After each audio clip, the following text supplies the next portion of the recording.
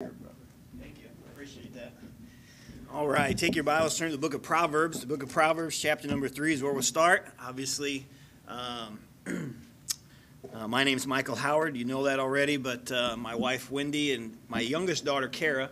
Uh, we have five children. I have an oldest uh, daughter that is uh, uh, still in our home, but is was not able to get off work to be able to come, but she is uh, uh, looking at uh, hopefully uh, this spring probably getting married, so uh, she'll be out of the nest finally, and so I'm excited about that. And uh, that's I know she's excited. She's prayed a long time and waited for God to bring the right man into her life, and so she is really excited about what God's been doing the last several months.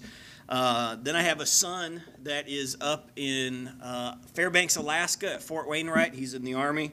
Uh, so he has been in, I don't know, about a year or so, uh, something like that, uh, maybe a little bit longer, a little over a year. And uh, so, and then I have a daughter that is 21 that is uh, at Fairhaven Baptist College. so she is still in our home, but yet at, at, the same time, she's got two semesters left of, of school and she'll graduate. And then I have a son that is 19, Jonathan he also ha- he has gone three semesters to Fairhaven Baptist, and uh, he has uh, decided that it's time to start making money instead of spending money. And uh, he come and asked me the other day. He says, "There's this young lady that I've noticed," and I said, "Well, that's great." I said, "So now you need a good job and make lots of money, and because without money, there's no honey, right?" So. Uh, so that's what uh, his desire is. He feels called to preach. So he is looking forward to just training uh, just in a local church setting. And then, of course, our daughter, Kara, which is 16 and uh, a sophomore in high school. And uh, uh so my wife's done a fantastic job. She's homeschooled uh, almost the entire time of all of our children's lives. Uh, there was just short windows, a couple different times to where they went, was able to go to a school, but other than that, homeschooled. I was saved at an early age and called to preach at 17. My wife and I got married at the ripe old age of 18 and uh, been married 26 years. So if you can, uh, you're good at math, you've just figured out how old I am. And uh, so God's blessed us, and I thank, thank the Lord for that. The pastor where I was called to preach at, I consider him my spiritual daddy, my daddy in the Lord, I guess you'd put it. And I've uh, loved him very much. But uh, we, he sent us off to Sauk Village Baptist Church to uh, train, and so we spent about 10 years there. I was youth pastor for about five years at that church, and then uh, have started a couple churches, but pastored uh, another one, and so um, just seeking the Lord's will as you are. So we'll just see what God does, and uh, we'll go from there. That's all we can do, right? Amen. Well, I know you're recording this and you're everything, but I have a hard time. I don't suppose you have any cordless mics or anything because I will not be able to stand right behind this pulpit uh, that's not my style. So, Proverbs chapter number three is where we'll begin. The book of Proverbs, chapter number three, and uh, we'll start here in verse number 13. This one's probably easier for now, but maybe that one during the morning service.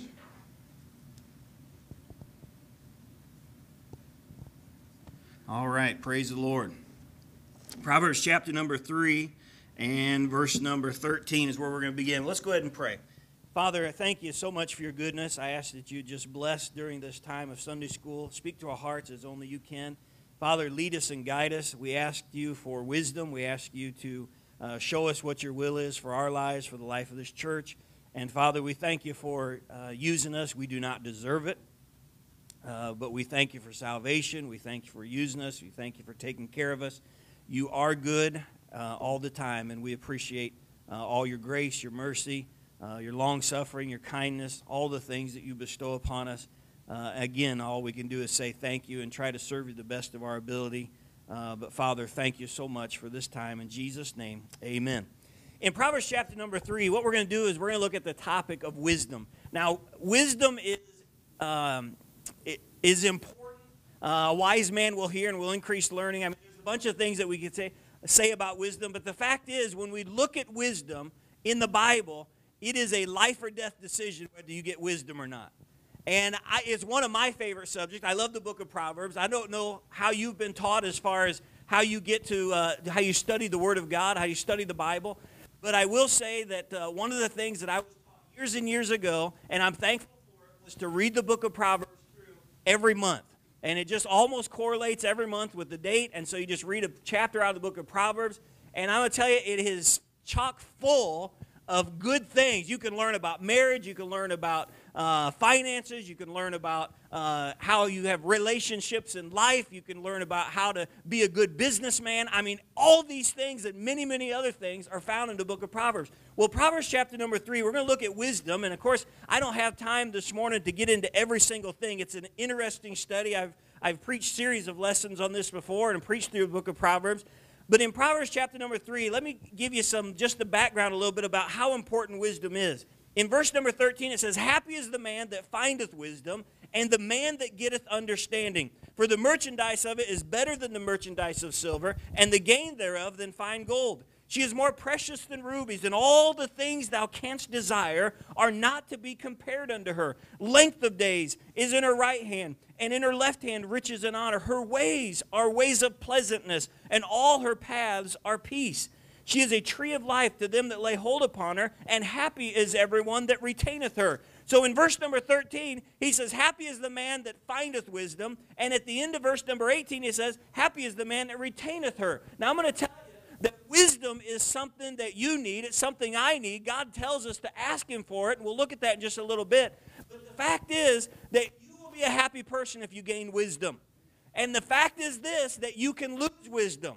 You say, well, you know what? I, I'm this age and I've, I've studied the Bible this amount of years and I've looked at things in my life and I've seen some things, but just because uh, you're an older person, or just because, you know, I can look and say, well, man, I've read the Bible through this many times in all the years I've been in the ministry, all the years I've been a Christian. But that doesn't mean that I can't lose that wisdom. Look how uh, wise Solomon was, and look at all the stupid things he did at the end of his life. I mean, he did some crazy things. So you need to retain wisdom. And I know the book of Proverbs is written to the young man, but I'm going to tell you the principles are there for a young man, a young lady, an older man, an older lady. It's there for all of us, okay? So happy is the man that findeth wisdom. I'm going to tell you, it's better than silver, it's better than gold. Uh, you know, precious rubies can't be compared to it. All the things thou canst desire. Now, I don't know about you, I can desire quite a few things. But all the things I can desire, wisdom is better than that. All right? Look over in chapter number 8 and verse number 11. The Bible says in chapter number 8 and verse number 11 says, For wisdom is better than rubies, and all the things that may be desired are not to be compared to it. Listen, the things that you can even desire can't even compare to wisdom. I'm going to tell you, it would be nice to have a million dollars. It'd be nice to be able to have, uh, it'd be able to have all the money that you could ever spend in a lifetime. It would be nice to be able to have all the possessions that you would ever need. And you sit there and you think, man, that would be great if all the bills were paid. I had a place to live. I had the vehicles. I was debt free. Everything was where it should be. That would be the best thing that could happen to me. And I'm going to tell you, wisdom is better than even that. All right? It's better than all those things. In fact, if you look down in verse number 35 of chapter 8, where we are, in Proverbs chapter 8, verse 35, it says, For whoso findeth me, and of course the whole chapter is about wisdom, for whoso findeth me wisdom findeth life. All right? And shall obtain favor of the Lord. But he that sinneth against me wrongeth his own soul. All they that hate me love death. Now, I don't have time to get into where the Bible teaches in Proverbs chapter number one that we can reject wisdom. But when a person rejects wisdom, the Bible teaches throughout that chapter, in chapter number one, that you'll get calamity and you'll get fear and you'll get anguish and you get desolation and destruction. I mean, those are characteristics. I don't know about you. I wouldn't want those things in my life. I wouldn't want those things to have. I don't want fear. I don't want desolation. I don't want destruction. I don't want those things uh, brought upon me. And God says if we reject wisdom, then that is the course that we're headed down, is that course of destruction. So God wants us to have wisdom. And so he says if we get wisdom, here in Proverbs chapter 8, verse number 35, then we obtain favor of the Lord. But there are those that sin against their own soul, and what they do is they reject wisdom because the Bible says that they hate that. And we're going to see in a little bit the reason that people hate wisdom. You think, why would anybody hate wisdom? Why would anybody hate to get that wisdom in their life?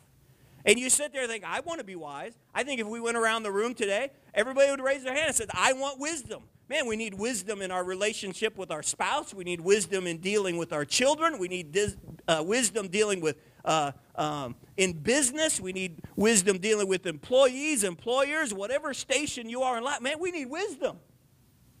You know, we need wisdom to, uh, to, to know who to vote for, the presidential elections, the wisdom to know uh, who to vote. And you say, well, some of those decisions, well, yes, some decisions are easier than others. You know, it's pretty clear cut, but I'm going to tell you, if you're like me, you've had some decisions to make in your life that you sit there and you think, man, it looks like both of those are a good decision. And you want God's will, I'm sure. And so you look at that, and what you need is wisdom. God gives that wisdom. And so when you look at that, those that hate wisdom, I'm going to tell you, uh, they love death. Now, it's a life or death situation when you look at wisdom. Now, I'm not going to get into some great, deep theological uh, meaning of wisdom, but I, I'm the kind of guy, and you might as well just know right up front, I'm the kind of guy that likes the peanut butter on the bottom shelf. You're not going to find that I'm going to sit here and put the peanut butter up here where nobody can get it. I like things easy. I like things understandable. I like things that are simple. Maybe it's just because I'm dumb. I don't know.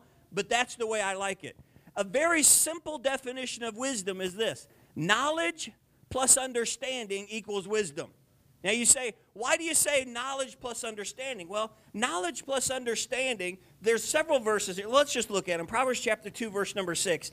The Bible uh, shows us several times in the book of Proverbs, he always, it seems like, connects the words knowledge, understanding, and wisdom.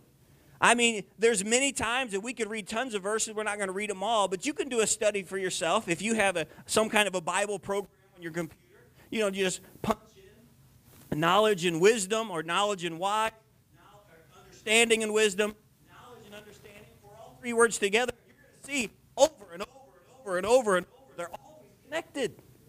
There's other words that are thrown in also. There's prudence that's thrown in there. There's other good uh, words also. But knowledge plus understanding equals wisdom. Now, in Proverbs chapter 2, verse number 6, it says, The Lord giveth wisdom. All right, understand that. God is the one that gives wisdom, He's the one that gives it. Now, we're going to show you in a little bit five places of wisdom, places that are in the Word of God, but understand ultimately that God is the one that gives wisdom. Now, I know there's some that say, well, you know what? I have the wisdom of experience of life. Well, I'm going to tell you right now, you know, it's just like the, the fear of the Lord is the beginning of knowledge, the fear of the Lord is the beginning of wisdom. Understand this true knowledge and true wisdom all begins with God.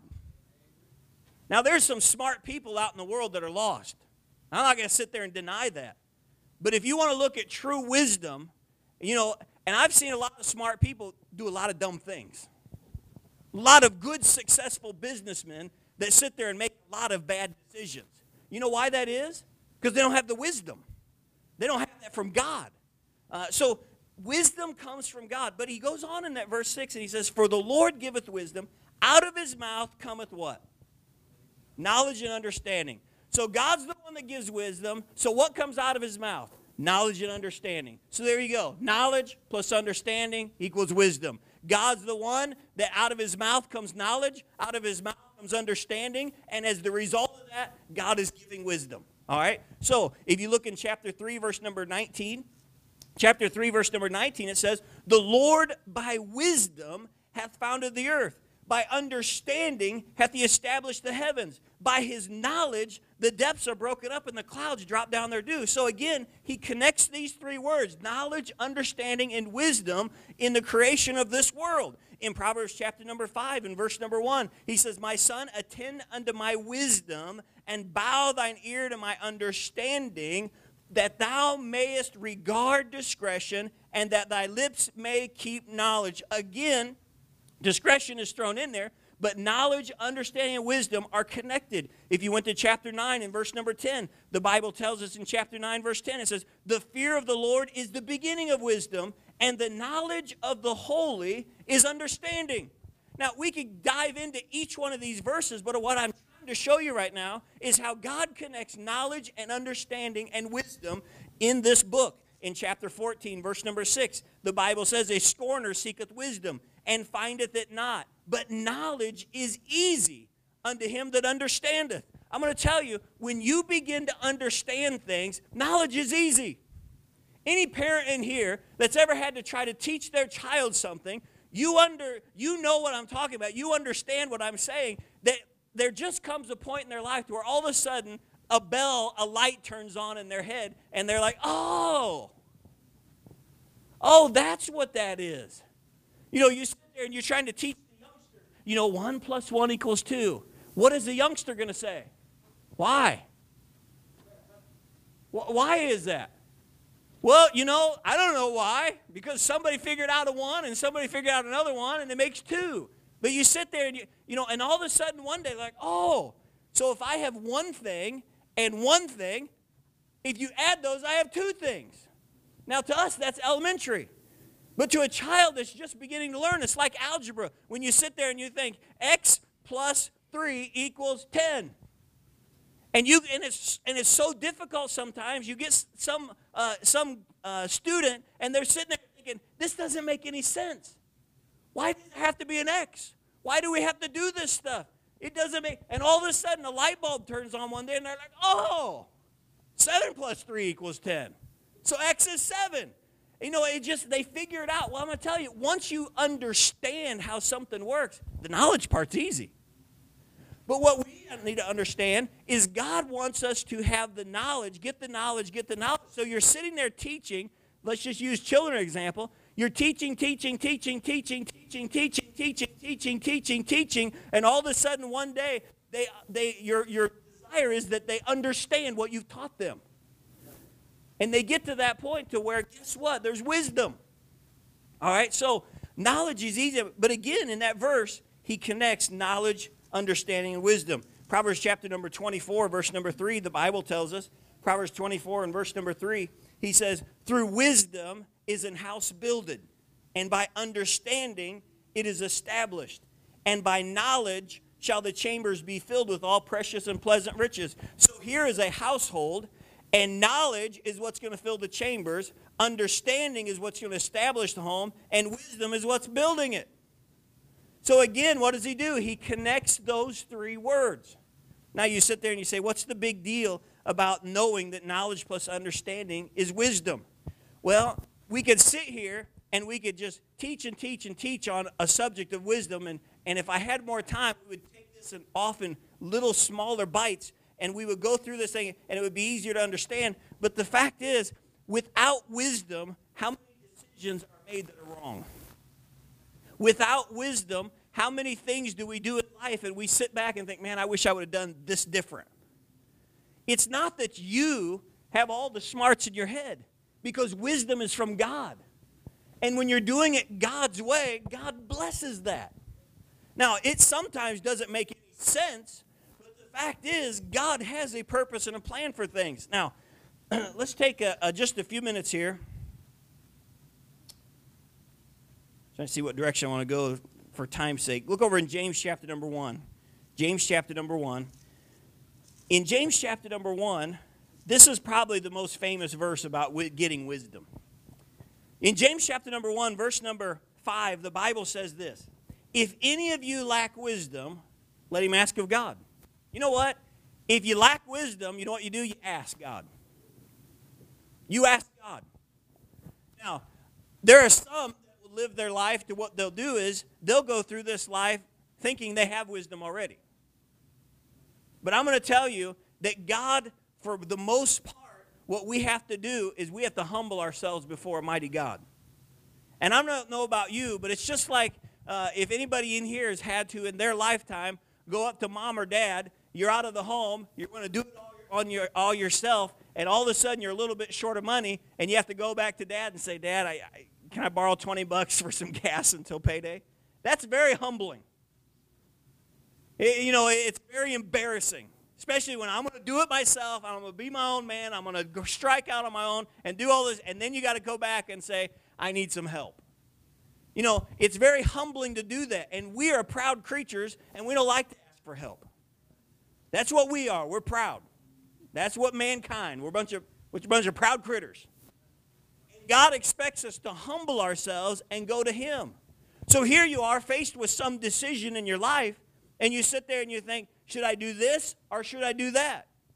And so instead of taking time to ask God and say, God, I need wisdom, listen, the steps of a good man are ordered by the Lord. God's the one that's going to tell you which path to take. Because the devil's probably not going to get you if, if path A is uh, sobriety and path B is drunkenness. Well, I think probably in this room you're going to say, I want path A. Now, I, I don't want to be a drunk. I want to I want to live this way. But that's not usually how the devil works. What the devil does is he says path A is here path B is here. Now, path there might not be any sin on that path.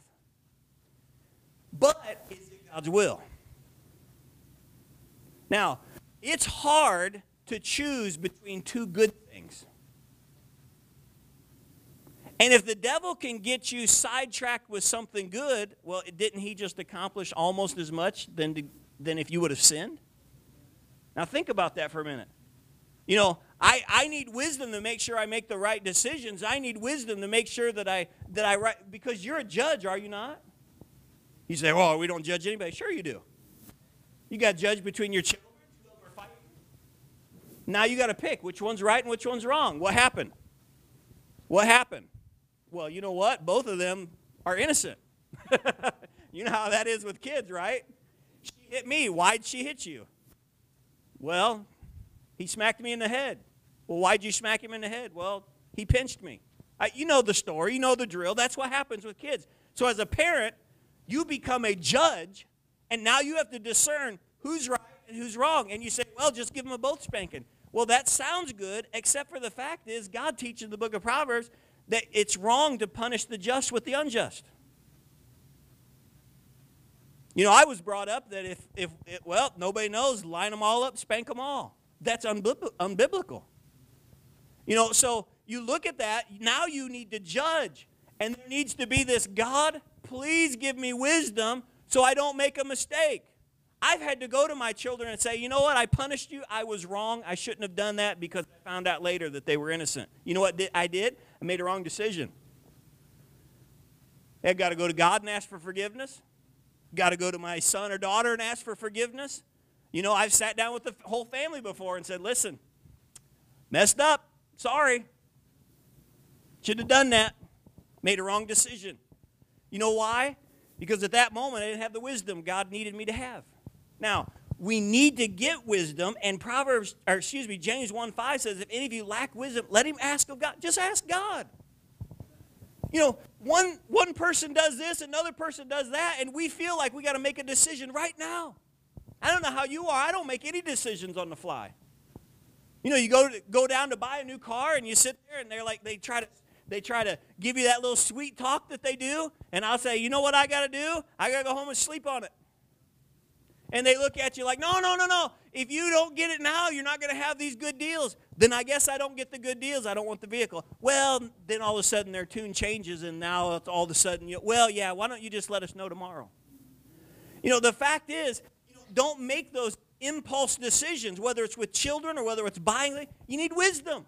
Get on your face before God and say, God, I need some help with this decision. That's where wisdom comes in. So if you need wisdom, you ask God for wisdom. And the Bible says that giveth to all men liberally and upbraideth not, and it shall be given him. This is the one time in the Bible that God is a liberal. He will give wisdom liberally. Man, he doesn't just take the salt shaker and go, that's all you get. Man, he pours it on if you just ask him.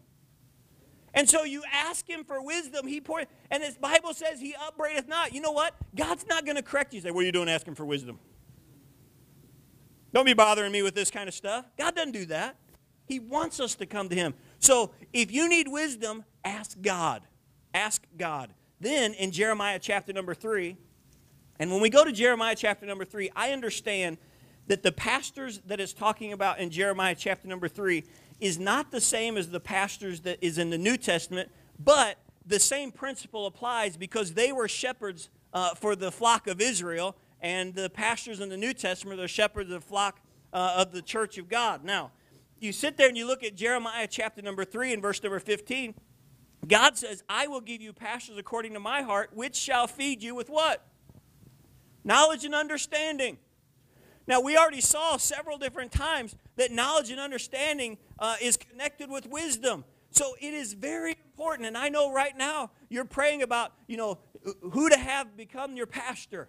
That is an important decision. That's an important decision. And if there's anything that we all need is wisdom. Because the fact is this it's not just good that you pick somebody that believes the Bible. Because I think in here, the way I understand y'all and talking to some of you and all that, you know, I sit here and look, and I don't think you're sitting there thinking, well, should we pick somebody that believes the Bible or somebody that doesn't believe the Bible? That's not the decision you're making, is it? You've already decided we want somebody that believes the Bible. So now what you have to decide is which one of these fellas? Now you got good decision, good decision, good decision. Which one? I'm going to tell you right now that takes wisdom. That takes wisdom. Because you definitely, listen, you know, you sit there and you look at this. Where can you get wisdom? You ask God. What's another place of wisdom? A God given pastor. Because if a God given pastor is doing what he is supposed to do, then he is taking the Word of God and he is giving you knowledge and he's helping you understand that knowledge. And if you have knowledge and understand that knowledge, that is what wisdom's all about. So it's important. You're going to pick somebody that's going to be preaching and teaching four times a week to you. So that it's very important. So you look at that God given pastor. But then in Proverbs chapter number 13 and verse number 20, you say, Where can I get wisdom? Well, the Bible tells us in Proverbs 13 20, He that walketh with wise men shall be wise. He that walketh with wise men shall, but a companion of fools shall be destroyed. So Proverbs chapter 13, verse number 20 says that if you will get up beside some wise men and start walking with them, you know what God says? You'll be wise. But if you get up to a, a, bunch of companions of fools, you know what the Bible says? You get there with companion fools and you get going with them, then you're going to be destroyed. How many times have you heard some preacher say something that be careful the crowd you run around? Walk with wise men, you're going to be wise. That is this, a principle from the Word of God. Iron sharpeneth iron. Those that you hang around are those that you're going to be like. If you always want to be uh, uh, looking and, and, and searching for something else and, and always be uh, running around with this certain crowd, then don't be surprised that that is what you become. We need to understand that we need to walk with wise men. All right, so if you want wisdom, you ask God. If you want wisdom, you get a God given pastor. You want wisdom, walk with wise men. Walk with those wise men. What was Rehoboam? Remember Rehoboam? There was King David, he had a son, Solomon. Solomon had a son, Rehoboam. Solomon dies. Rehoboam becomes king. The old men come to him and say, If you will do this, we'll follow you. What does he do? He goes, or excuse me, the people say, if, if you do this, we'll follow you. He goes to the old men that stood before his father, and they said, Listen to the people. you listen to the people. Well, he didn't like that. So you know what he did? He went to his own peers. And when he went to his own peers, they said, You tell them that your pinky is going to be thicker than your daddy's thigh. In other words, you tell them who's going to be the boss. Well, what happened? He lost the kingdom, which God said was going to happen, but it was only because of his own stupidity. And so you look at that, you walk with wise men. It is so important. Then in Psalm 19, Psalm 19 and verse number 7. In Psalm 19, verse number 7, you have not only asked God, not only God given, not only wise men, not only uh, uh, those things, but also the Word of God. In Psalm 19 and verse number 7, it says, The law of the Lord is perfect, converting the soul. The testimony of the Lord is sure, making wise the simple. You know what the Word of God does? The Word of God will take a simple person and make them a wise person. Now, don't sit there and think, well, they're simple, that means they're dumb. No, that's not what it means. When, when, when somebody is ignorant, it doesn't necessarily mean that they're stupid, okay? It just means they don't know. You know, they don't know. You know, you, you, you take this mama right here and got two little babies in her arms right there. Well, that mama right there is not going to sit there and say, Why don't you run across the street, honey? She's not going to say that because she understands. They don't quite understand that there's moving vehicles that can flatten you and kill you. So, anytime that there's these little children and they go running to the road, what happens to mama? and they go running and grab them, and then their heart's beating 100 miles an hour, and they're holding that little baby tight. Why? Because they understood that that child did not have any clue what that was, uh, what was going to happen to them if they ran out in front of cars. That doesn't mean that the child is stupid. They're simple. They don't understand. They don't have the knowledge. So what you do is you begin as they grow up to teach them. You stop and you look both ways and you make sure. You know, our mailbox is across, our, across the road. Of course, I live on a dirt road out in the middle of nowhere. And uh, but uh, but the fact is, you know, when our kids they got to, hey, can I get the mail? Can I get the mail? Can I get the mail? Well, what'd you do? We would teach them to go out there and stop, look, make sure. And when they first were doing it, they had to look back at us to make sure that we said it was okay. And then they would run across the street get the mail, and they'd run back. And they thought they were big stuff. You remember those days, right? Well, it's because they're simple. What were we trying to do? We were trying to fill them with knowledge and eventually helping them to understand that if they stepped out in front of a moving vehicle, they're going to die. And children this age don't understand that. But as they get older, they begin to, you know what that is? That's gaining wisdom. Now, you and I, we're older. We know better.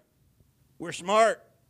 No, God gives us the Bible so that we will continue to get the knowledge, continue to get the understanding, because we need to be made wise. All right, so the Word of God. Now, this one, I want to spend the last few minutes on this one, Proverbs chapter number 15, because, because this specific one is one that we all choke at ultimately understand this God gives wisdom.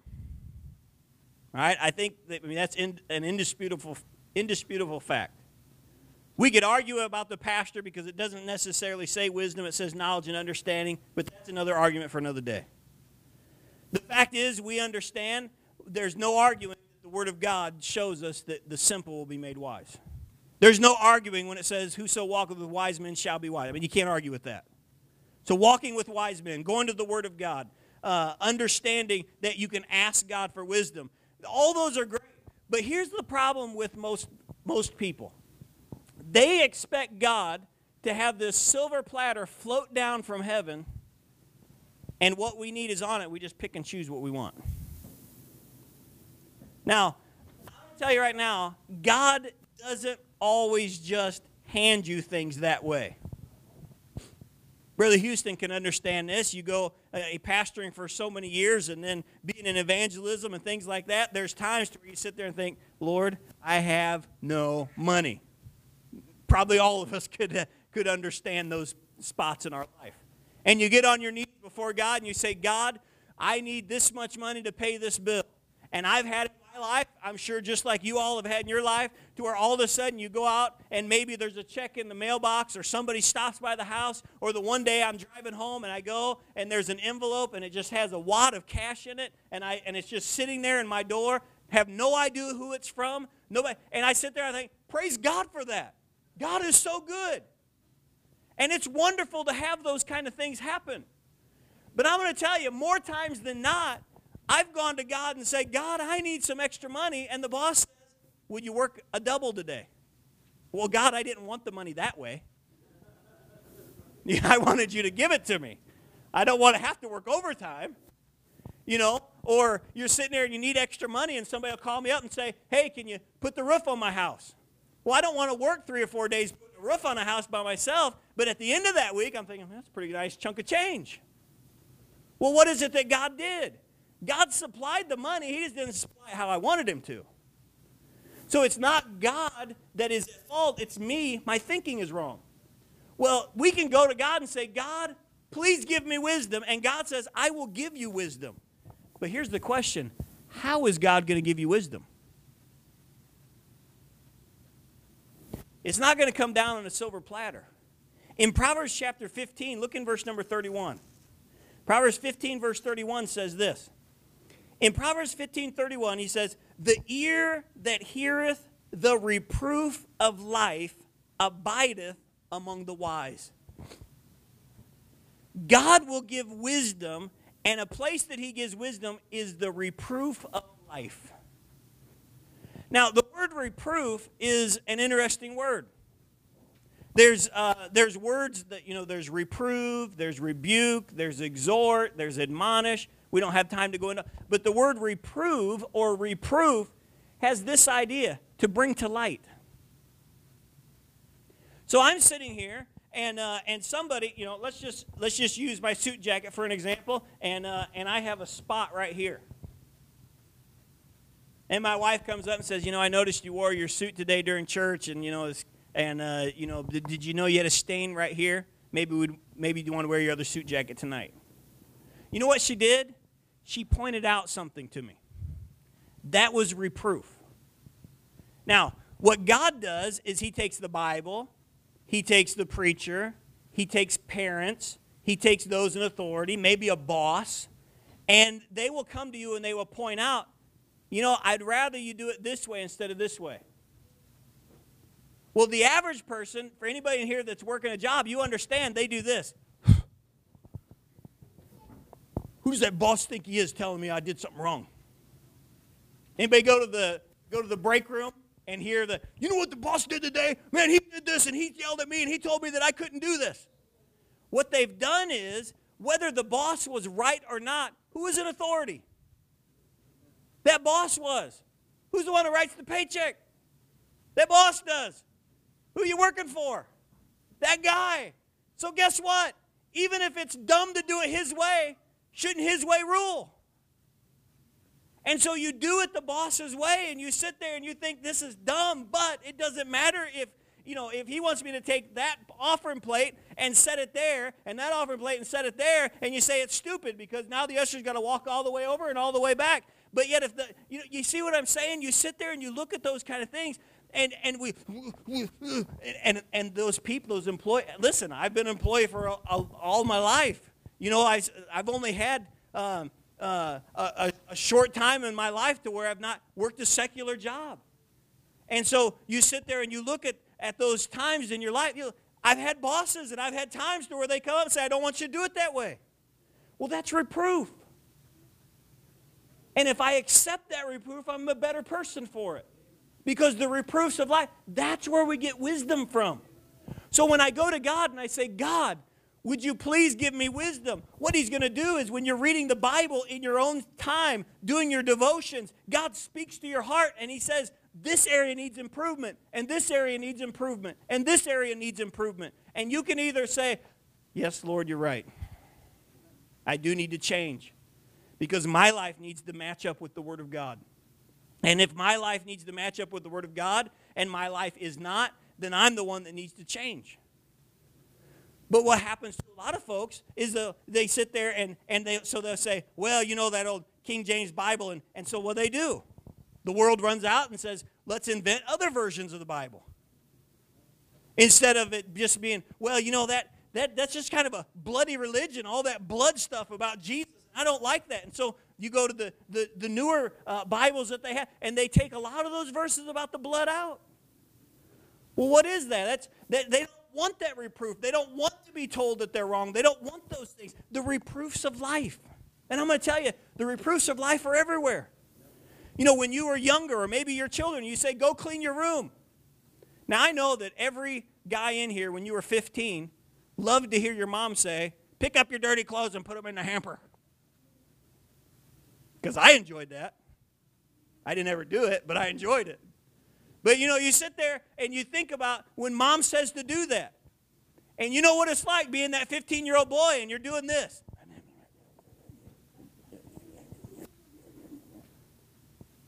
Anybody remember that, or am I the only one? You know what I did? I was rejecting reproof. Because mom said to clean it up, and I didn't, and she had to correct me for it, and then I'm grumbling under my breath and everything else. I'm rejecting that reproof. You know what ultimately I did? I basically said this God, I do not want to be wise. That's really what I was saying. I didn't say that with words because all of us want wisdom. We want to have that wisdom, but we don't like the package it's wrapped up in because the package that wisdom is wrapped up in is reproof. God, give me wisdom. It's not going to float down out of a silver platter, it's going to come through the reproofs of life. Just going to sit there with a magic wand and go, poof, you're wise. It's going to come through the reproofs of life. So when we get those reproofs of life, understand God is trying to give us wisdom. Now, everybody wants it, but nobody wants the package it comes in. If you go back to Proverbs chapter number 1, Proverbs chapter number 1 and verse number 20, he says this, Wisdom crieth without. She uttereth her voice in the streets. Proverbs 121. She crieth in the chief place of concourse, in the openings of the gates, in the city she uttereth her words, saying, Now, wisdom is, is wisdom is accessible to everybody. Let me just put it that way. He says at the gates, it's in the city, it's in the streets, all those. In other words, what he's saying is it's at places to where everybody is at. So the youngest child in here can get wisdom, all the way to the oldest person in here can get wisdom. It's for everybody. Verse 22 How long, ye simple? We love simplicity. And the scorners delight in their scorning, and fools hate knowledge. We don't have time to get into those words. Here's what wisdom says in verse 23 Turn you at my reproof.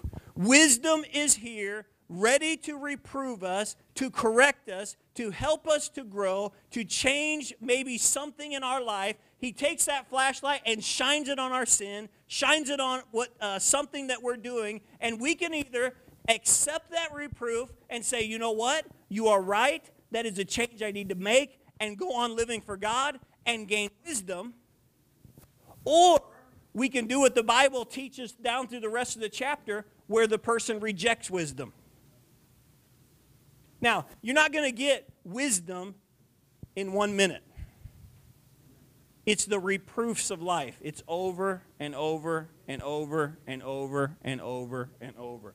Sunday school, Sunday morning, Sunday night, Wednesday night, uh, children with their parents. Listen, it's a hard job being a parent. Because there's times you come home from work, you're dead dog tired. You don't want to deal with the child. You don't want to deal with, you know, it's like, ah, I walk in the house and I got to spank them already. I walk in the house, I got corrected already. I walk, I'm just tired, I want to sit down. You know, that, I know. I've been there. You know, you sit there and you look at that, what is it? We, we see these children, and you look at those children in their lives, and what are they going to do?